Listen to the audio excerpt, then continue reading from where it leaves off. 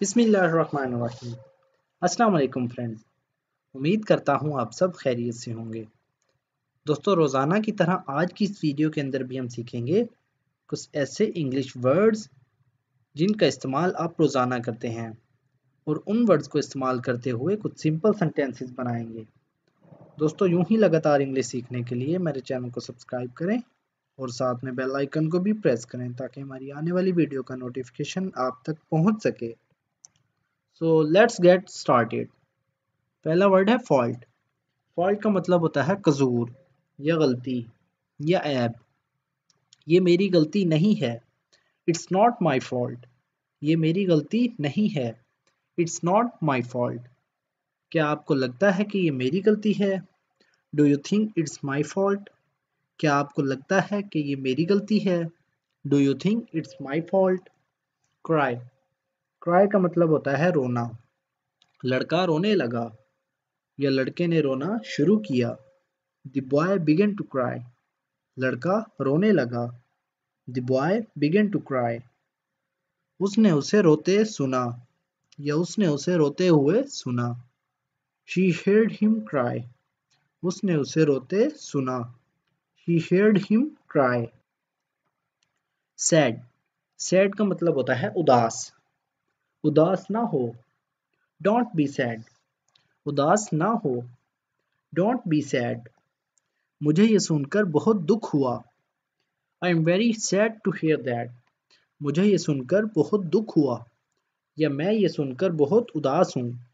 I am very sad to hear that permission permission का मतलब होता है इजाज़त।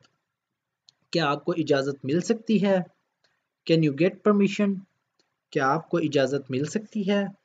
Can you get permission get का मतलब होता है हासिल करना या लेना।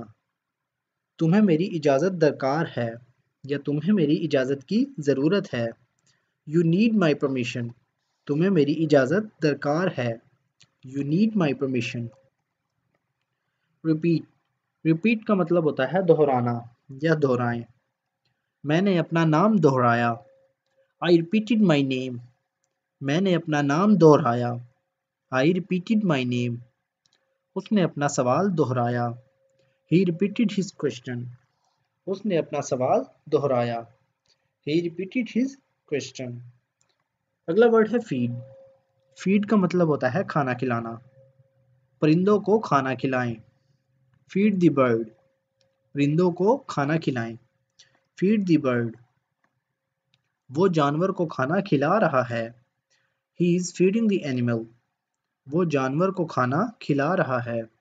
He is feeding the animal suggestion suggestion का मतलब होता है मशवरा, या तजवीज़। मेरी एक तजवीज़ है। आई हैव अ सजेशन मेरी एक तजवीज़ है।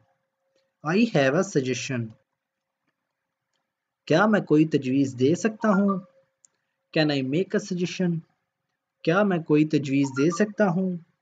Can I make a suggestion yard yard का मतलब होता है सहन। आपका सहन कितना बड़ा है? How big is your yard आपका हम्म। सहन कितना बड़ा है? How big is your yard मेरे घर का एक छोटा सा सहन है।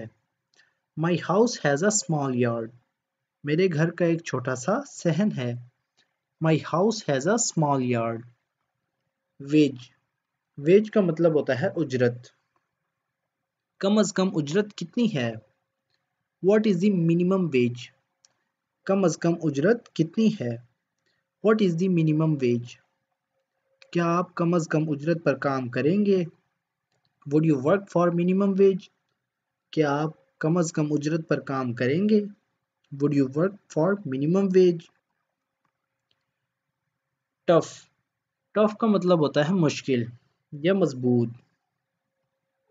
आज का दिन बहुत मुश्किल था। Today was a very tough day आज का दिन बहुत मुश्किल था। Today was a very tough day मैं जानता हूँ कि ये मुश्किल है।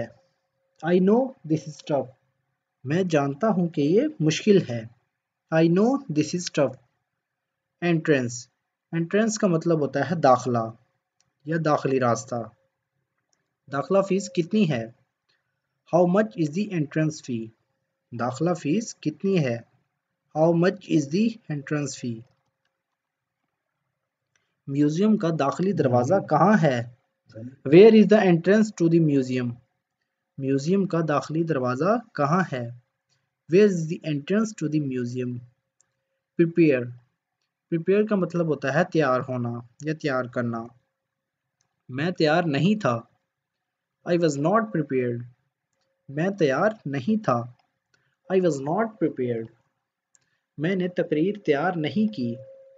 I did not prepare a speech मैंने तकरीर तैयार नहीं की। I did not prepare a speech sweet sweet का मतलब होता है मीठा या मिठाई। मुझे कुछ मीठा चाहिए। आई वॉन्ट समथिंग स्वीट मुझे कुछ मीठा चाहिए। आई वॉन्ट समथिंग स्वीट ये सेब मीठा है। दिस एप्पल इज़ स्वीट ये सेब मीठा है। This apple is sweet throw throw का मतलब होता है फेंकना। कचरा यहाँ ना फेंके। Don't throw garbage away here कचरा यहाँ ना फेंके। Don't throw garbage away here garbage का मतलब होता है कचरा। उसने मुझसे गेंद वापस फेंकने को कहा। He ask me to throw the ball back उसने मुझसे गेंद वापस फेंकने को कहा। He asked me to throw the ball back अगला वर्ड है होस्ट होस्ट का मतलब होता है मेज़बान। पार्टी की मेज़बानी कौन करेगा? Who will host the party party की मेज़बानी कौन करेगा? Who will host the party हमारे मेज़बान ने हमें एक मशरूब पेश किया। Our host offered us a drink हमारे मेज़बान ने हमें एक मशरूब पेश किया। Our host offered us a drink अगला वर्ड है सैंड सैंड का मतलब होता है रेत। शीशा रेत से बनाया जाता है। Glass is made from sand शीशा रेत से बनाया जाता है। Glass is made from sand खुश्क रेत पानी जज्ब करती है।